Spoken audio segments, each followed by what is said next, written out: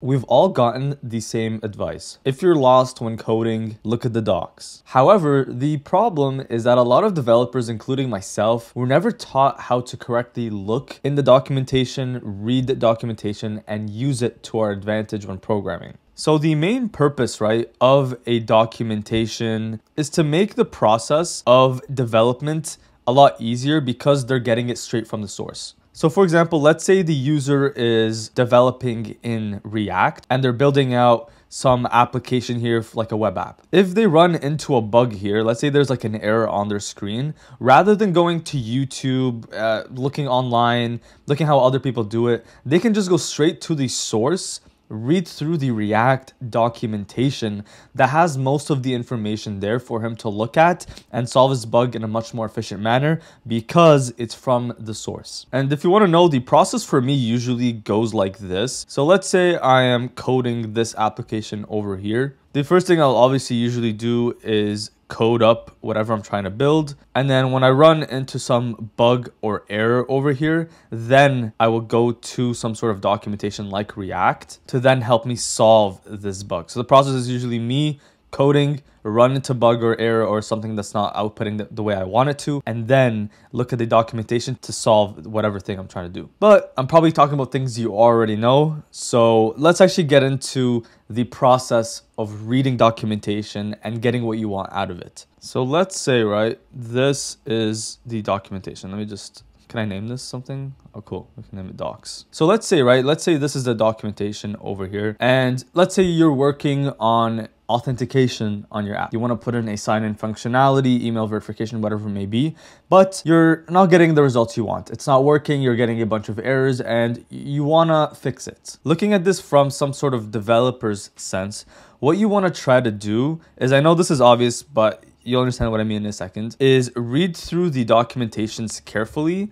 and really understand the process of how they developed the documentation. What you have to realize, okay, is I, I believe why documentation as a whole gets a lot of hate is because sometimes it's a little bit hard to read. Each documentation is different. They're not always going to be the same and they're developed by human beings at the end of the day and each person just has a different way of making it. And so carefully just go over the documentation. Let's say we're working on NextAuth, okay? Let's go to NextAuth uh, documentation over here. I would just go to NextAuth like this or whatever authjs.dev. So let's say we're working on a sign-in functionality. I would usually just look for sign-in something like this.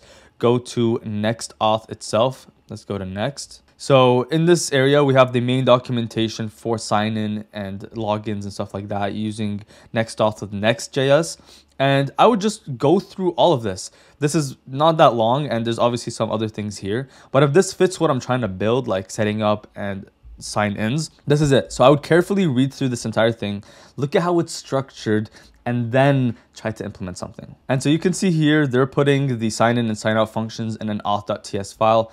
I already know this because I do this. But once I get an understanding over here, I will usually just go back into my code, take whatever I took from the documentation, like whatever understanding I got, and then try to implement it into like a my my code, basically, whatever I'm trying to build. But Nizar, you may be saying, a lot of the times I am lost. How do you get over this error area where like I'm taking whatever, I'm reading documentation, I'm trying to implement, but it's just not working. That is one, right? I will just go back into the documentation and try my best to look at what I'm trying to do wrong. Typically, okay, it's, it's I know as developers, we are very cocky people and we want to be right all the time and we think that we're always right.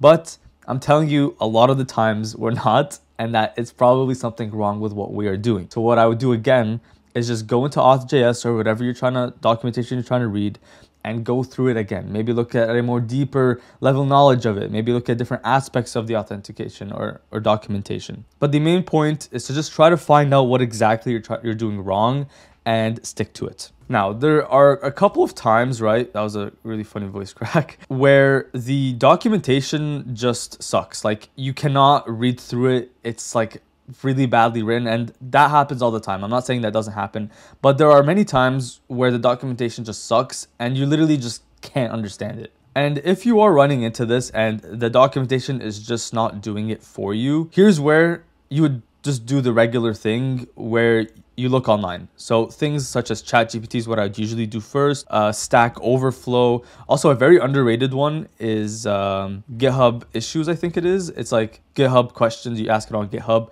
and people ask, uh, they solve it for you. But again, I, I'm putting this last because I know that documentation at times sucks like a lot.